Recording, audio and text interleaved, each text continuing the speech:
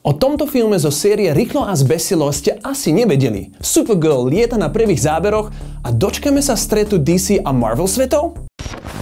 Moje meno je Tomáš Puskaler a ty sleduješ zhrnutie najväčších noviniek zo sveta filmov, seriálov a hier. Toto je Restart!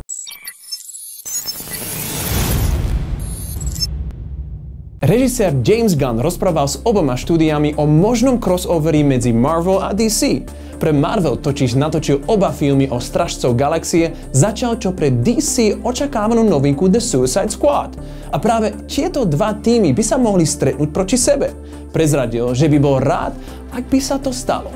Nemyslí si, že je to pravdepodobné, ale či si nemyslí, že je to nemožné. V komiksoch sa tieto dva svety ustretli, tak čo?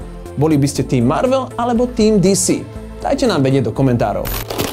Team Marvel alebo Team DC? Vedeli ste, že neoficiálnou súčasťou série Rýchlo a zbesilo je film Better Luck Tomorrow z roku 2002? Režiroval ho Justin Lin, ktorý priniesol ďalších 5 častí Rýchlo a zbesilo. Jednou z hlavných postav je herec Sung Kang ako Handu. Áno, presne tento Han. A, teda vlastne tento Han. Príbeh slúži ako prikvel k jeho postave. Americký reťazky im dokonca film zaradil do maratónu, ktorý mal divákov pripraviť na Rýchlo a zbesilo 9. Je to vták, je to lietadlo. Nie, to je herečka Sasha Kell ako Supergirl. Nakrúcanie filmu The Flash v Londýne je v plnom prúde a našu novú Supergirl vidíme na prvých záberoch z placu. Aj Michael Keaton ako Batman a Ezra Miller ako Flash. Režisér Andy Muschietti dokonca zdieľal blízky pohľad na jej kostým.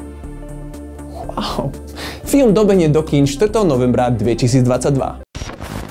Hm. Tak vraj superhrdinom neplatia dosť?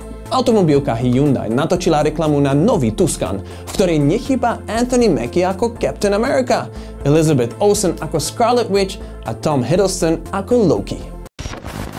Klasická hororová manga Uzumaki od autora Jinju Ito dostane anime adaptáciu. A my sme konečne dostali prvý teaser. Televízna sieť Adult Swim musela vydanie kvôli pandémie posunúť až na oktober 2022.